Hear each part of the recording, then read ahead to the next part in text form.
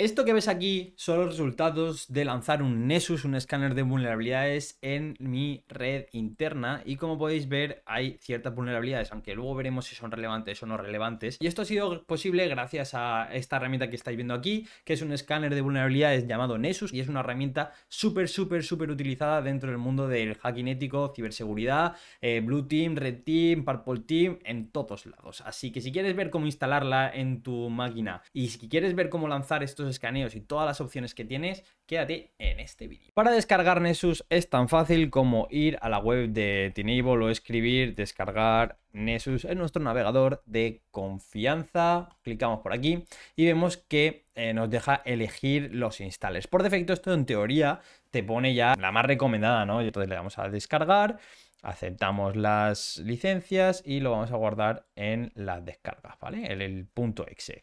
Esto debería tardar muy poco, 99 megas, está de locos y hacemos clic para la instalación lo típico, next, aceptamos los términos y condiciones, elegimos la, ruta que queramos. Yo concretamente voy a crear una carpeta nueva en el disco F que se llame Nessus por temas de espacio, le voy a dar aquí a next, instalar, salta LUAC, permiso de administración, aceptamos y le vamos a dar a que sí, porque bueno, esta carpeta la acabamos de crear, le damos a que sí, da igual si nos elimina el contenido, o sea, vosotros pensar que es una carpeta que está vacía y aquí ya vemos que empieza pam, pam, pam, pam a meter cositas y hacer la instalación en la ruta que le hemos dicho. Finaliza la instalación, le damos a Finish, automáticamente se te va a levantar una pestaña y vemos que en el localhost, en el puerto 8834, vemos que eh, nos aparece ya el, lo que viene a ser la interfaz gráfica de el Nessus. Levanta un puerto y nosotros nos conectamos ahí. Le vamos a dar a conectar vía SSL, le vamos a dar a configuración avanzada, acceder al localhost, sitio no seguro, pero estamos en red interna, no os preocupéis por eso.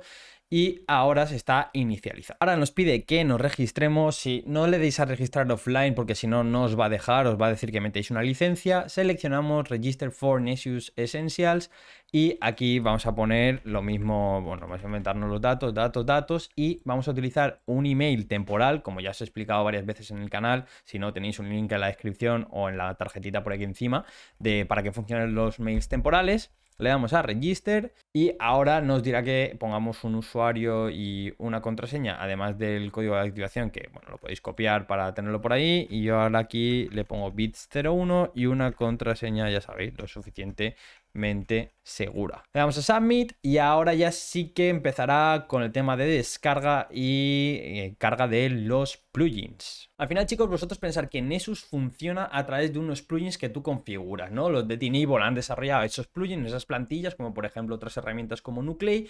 Y entonces tú cuando seleccionas y metes esos plugins, lo que pasa es que Nessus va a buscar las vulnerabilidades asociadas a estos plugins. Por eso es muy importante tener un buen mantenimiento del Nessus y estar constantemente actualizándolo porque si sale una nueva vulnerabilidad y la gente de Tinable mete ese plugin nuevo y nosotros no lo metemos, cuando estemos en una auditoría haciendo un escaneo, pues eh, no vamos a encontrar esa vulnerabilidad porque no tenemos ese plugin instalado. Vemos que esto ya ha avanzado un poquito, vemos que ya tenemos las carpetas, el tema de los plugins, eh, nuestro perfil, pero aún así vemos que no podemos crear un nuevo scan porque aquí nos aparece que los plugins están compilándose y aún va por el 48%. Vemos que los plugins ya están compilados, están done, como nos dice la alertita de aquí, y nos dice Welcome to Nations Essentials. To get start, no sé qué, no sé cuántos. Nosotros, por ejemplo, vamos a ponerle, eh, vamos a ponerle la dirección nuestra de, red. Vamos a abrir aquí la terminal y vamos a hacer un IP config. Vamos a sacar la dirección IP que tenemos ahora mismo. Esta, la 027, la vamos a copiar y vamos a poner la 0 barra 24. Le vamos a dar a Submit y esto ya nos dirá que ejecutemos el... Bueno, está haciendo un Discovery Host y eh, cuando acabe supongo que nos dejará hacer el run scan. Veis aquí ya dinámicamente nos está sacando qué host está detectando en la red. Funciona un poquito también de host discovery, como por ejemplo puede ser en EMAP, y luego, pues también nos deja aquí pues, seleccionar eh, los, los targets para meterles ya el scan de vulnerabilidades. Si le doy a Run Scan, ahora sí que me lanza eh, un Basic Network Scan. Eh, no lo está lanzando, ¿vale? Importante, cuando veáis este simbolito es el running, cuando veáis esto es que está cancelado. Lo puedo dar a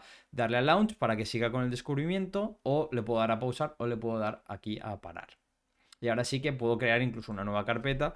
Le digo eh, my network y lo creo aquí, se me crea esta carpeta y ahora ya, ya puedo lanzar un nuevo scan dentro de esta carpeta. Si seleccionamos este scan, vemos que ya nos saca los tres hosts que hemos visto anteriormente y el porcentaje que tiene de escaneo. Y además nos dice que eh, utiliza el sistema CVSS V3. Y si clicamos aquí dentro, vemos la información de las distintas vulnerabilidades que tenemos. Pues estas en este caso son eh, eh, information, de categoría de información, que nos puede servir un poco para la fase más de numeración y tal, pero realmente luego están las low, bueno, las tenéis aquí, info, low, medium, high en critical. O sea, cuando veáis mucho rojo, es que os vais a poner las botas en, la auditoría, en el pentest o en el análisis de vulnerabilidades. Dentro de la carpeta My Network vamos a crear un nuevo scan y veis la cantidad de cosas que nos deja, o sea, nos deja desde el Host Discovery, Basic Network Scan, Advanced eh, Scan,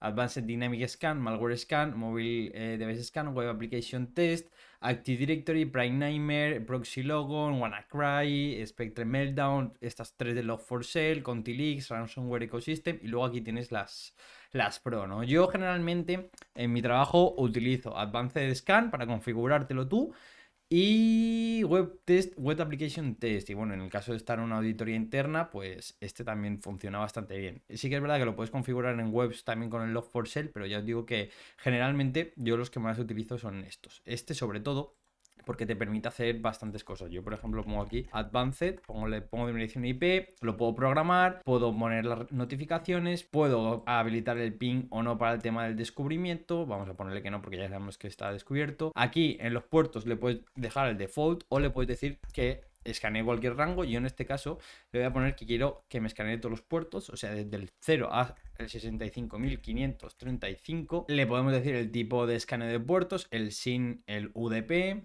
en Service Discovery, pues un poquito más de lo mismo. Está generalmente tampoco hace falta tocarla mucho. Assessment, esto ya os digo, tampoco lo suelo, lo suelo tocar. Brute Force, Web Application, por ejemplo, si queremos escanear las, las webs, le podemos pasar la ruta a, partir de cuál tiene que empezar. Windows también, pues por ejemplo, si queremos obtener información del dominio. Malware, por si quiere detectar algo de malware. Información de bases de datos. Esto ya es para el tema del informe que saca y luego aquí en el avanzado pues tenéis eh, el tema de la performance para pues el delay entre segundos, el número de threads simultáneos y todas estas cositas que ya depende un poco del tipo de proyecto que, hagáis. Aquí también podéis meterle credenciales, ¿no? Por ejemplo, si sabéis unos credenciales de SSH las podéis poner por aquí.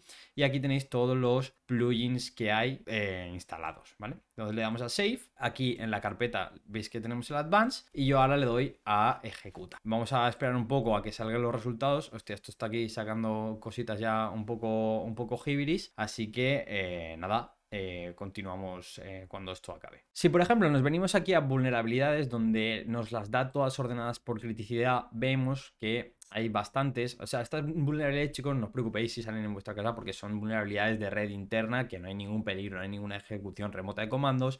El SMB Signing, por ejemplo, no hace falta tenerlo habilitado si no tenemos un Active Directory. Y aquí dentro nos sale pues información al respecto. Por ejemplo, tenemos el puerto al que afecta, el servicio, información sobre la vulnerabilidad, eh, los distintos vectores, el vector en base, el vector eh, CVSS versión 3 que es el que generalmente se suele utilizar. Y aquí eso, más o menos tenéis todo. Por ejemplo, vamos a esta crítica tenéis aquí el fingerprinting, eh, bueno, tenéis un poco, os podéis volver aquí locos con la información que hay. Aquí abajo aparecen las CVs asociadas, cuando tenéis unas redes gigantes, vosotros mientras hacéis la parte del pentest automatizáis esto, ¿vale? Y vais generando el informe, o sea, el informe de vulnerabilidades y luego ya, si veis alguna vulnerabilidad que vale la pena explotar, ya os metéis al lío. Pero esto es generalmente una cosa que se hace en paralelo de cara a eh, cubrir lo máximo posible dentro de un ejercicio de, de pentesting o auditoría interna o externa. Como hemos visto antes, hay muchas vulnerabilidades de estas que son críticas, como por ejemplo esta de aquí en el protocolo SMB, en el protocolo Samba, y vemos que eh, con Metasploit podemos utilizar este exploit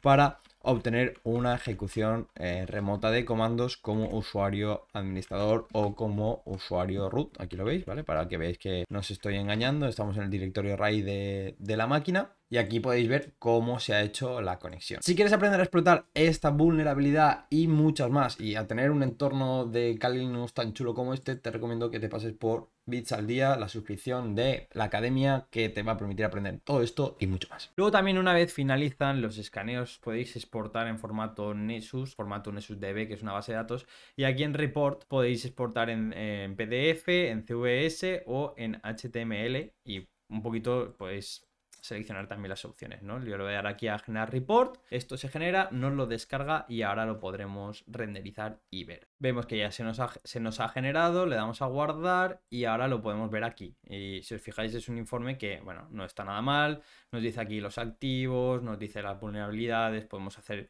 clic en el plugin y nos lleva a la página web con la información del plugin. Y bueno, está bastante guay, solo que ya os digo que tú no lo puedes presentar a un cliente porque si no queda, queda bastante mal, ¿no? Pero os lo clasifica por, pues este activo ha tenido 14 vulnerabilidades low y 17 info. Este ha tenido pues 2 high y 26 info. Y os lo desglosa por aquí, si queréis más detalles ya tú haces clic y te lleva a la vulnerabilidad. Si quieres ver realmente vulnerabilidades críticas, te recomiendo que veas el, vídeo que hemos hecho de la instalación, bueno, de lanzando el Nessus contra una máquina vulnerable Metasploitable 2, que veis que está sacando vulnerabilidades críticas de un score de 10 y un 9,8, Bindcell, Backdoor Detection, NFC Export, que aquí ya veis que os pone un poquito de, toda la información. Pero para eso eh, os lo vamos a contar en este vídeo que vas a tener por aquí, aquí una lista de reproducción también con vídeos que seguro que te interesan. Un besito muy grande y como siempre nos vemos en el próximo vídeo.